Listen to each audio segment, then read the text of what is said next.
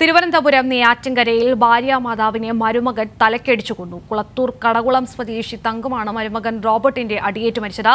വിജിൻ തുടരുന്നുണ്ട്. വിജിൻ ഇവിടെ എന്താണ് സംഭവിച്ചത്?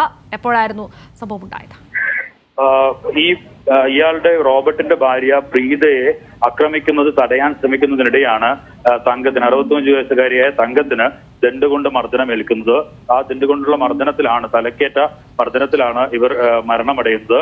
നേരത്തെ ഈ ഈ റോബർട്ടും അതുപോലെ തന്നെ പ്രീതിയുമായി നിരന്തരം ആഹ് ചിത്ര പ്രീതയെ ആക്രമിക്കുന്നത് ഉൾപ്പെടെയുള്ള സംഭവങ്ങൾ ഉണ്ടാകാറുണ്ടായിരുന്നു എന്നാണ് മനസ്സിലാക്കുന്നത്. എന്തായാലും സംഘത്തിന്റെ മൃതദേഹം ഇപ്പോൾ പോസ്റ്റ്മോർട്ടം നടപടികൾക്കായി തിരുവനന്തപുരം മെഡിക്കൽ കോളേജിൽ സൂക്ഷിച്ചിരിക്കുകയാണ്. ശരി വിജിനാണ് വിവരങ്ങൾ നൽകിയത്.